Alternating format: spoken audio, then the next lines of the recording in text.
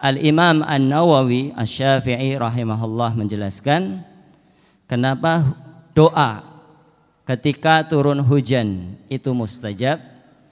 Karena pada waktu itu rahmat Allah sedang turun. Yaitu apa? hujan.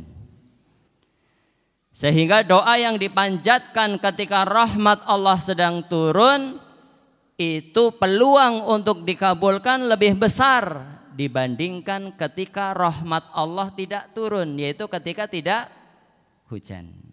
Nabi sallallahu alaihi wasallam bersabda Sintani ma turaddani du'a indan nidai wa tahtal matari. Ada dua doa yang tidak akan ditolak oleh Allah Subhanahu wa taala. Yang pertama doa ketika azan Kapan maksudnya ini? Ketika muazin mengumandangkan azan kita berdoa ataukah maksudnya adalah setelah azan?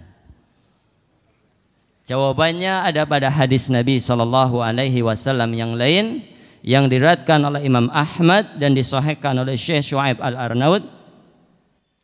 Beliau Shallallahu Alaihi Wasallam bersabda, Inna du'a la yuraddu bainal azani wal iqamah fad'u Sesungguhnya doa itu tidak akan ditolak ketika dipanjatkan antara azan dan iqamah. Berarti doa yang mustajab ketika azan adalah kapan? Setelah selesai azan sampai dengan iqamah dikumandangkan. Maka ketika menunggu iqamah amalan yang paling dianjurkan oleh syariat kita itu bukanlah membaca Al-Qur'an, bukan. Bukanlah berzikir, bukan. Tetapi apa? Memanjatkan doa. Walaupun kalau seandainya membaca Al-Quran atau berzikir mengucapkan kalimah-kalimah toibah itu juga boleh. Syekh bin Bas rahimahullah itu pernah didekati oleh seorang muridnya Syekh Sa'ad Ad-Daud. Muridnya ini mau mengajukan pertanyaan menggunakan kesempatan antara azan dan iqamah. Syekh bin Bas ini kan dia menunggu ya. Muridnya ini mau mengajukan beberapa pertanyaan, kesempatan lah. Kemudian apa kata Syekh bin Bas rahimahullah?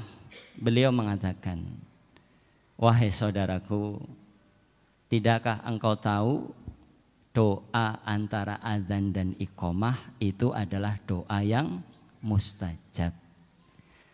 Kalau pertanyaan-pertanyaan itu nanti bisa ditanyakan setelah sholat.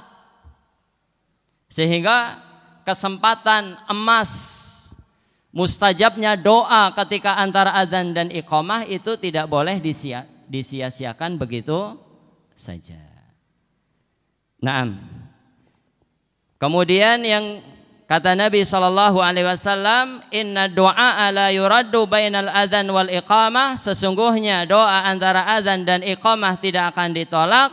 Fada'u maka perbanyaklah doa kepada Allah Subhanahu wa taala.